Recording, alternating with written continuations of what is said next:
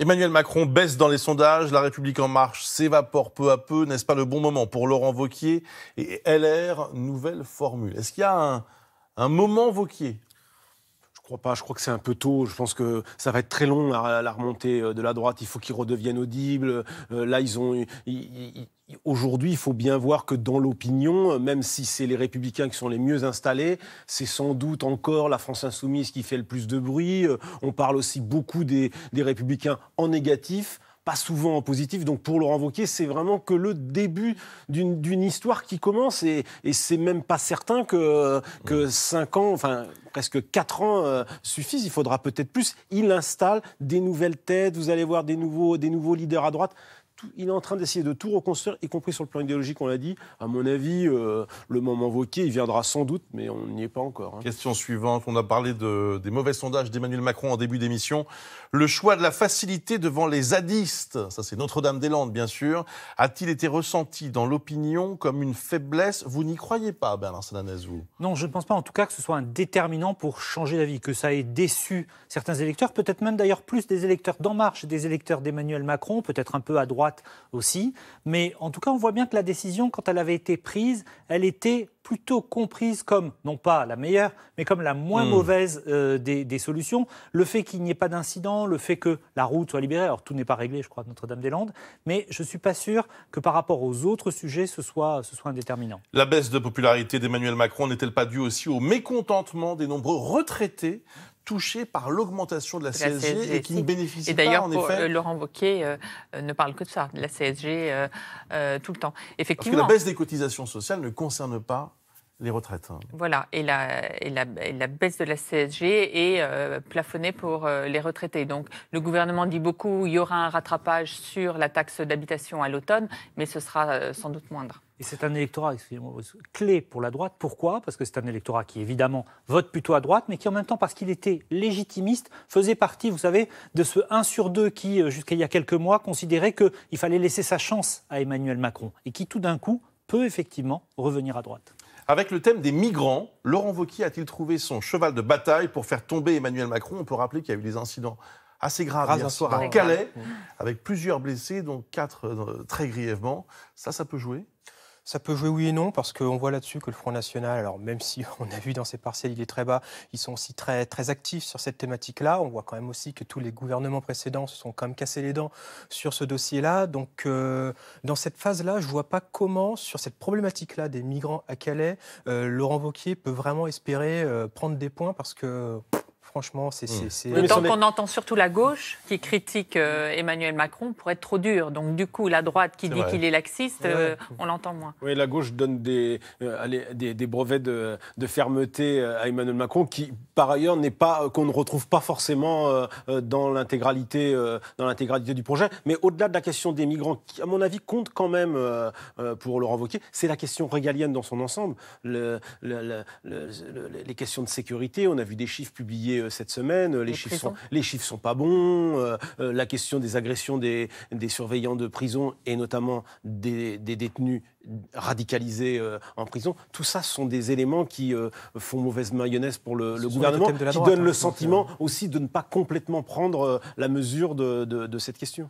Tous ceux qui ont suivi François Fillon sont-ils maintenant derrière Laurent Vauquier?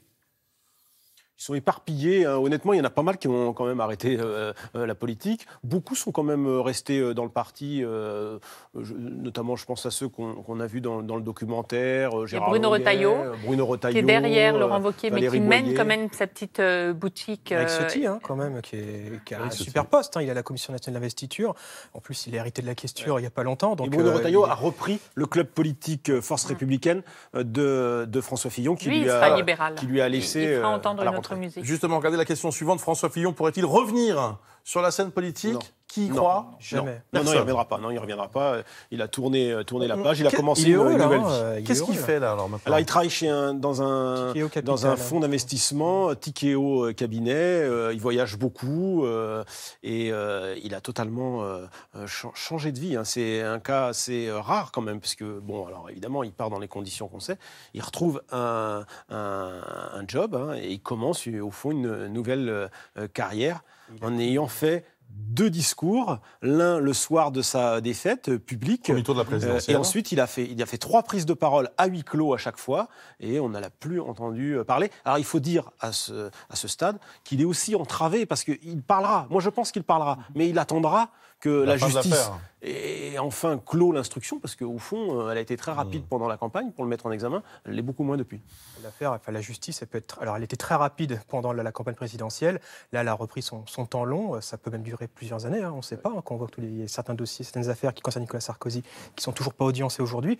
François Fillon, juste pour rappeler aussi, compliqué. il a aussi, exactement, il a aussi rejoint le- le- le- l'organi- l'organigramme de la Fédération internationale automobile, sa Ah grande oui, passion. C'est sa passion. Donc euh, là-dessus aussi, je, voilà, il, il profite. Combien de temps encore avant de solder définitivement le désastre Fillon? Bernard Sananès.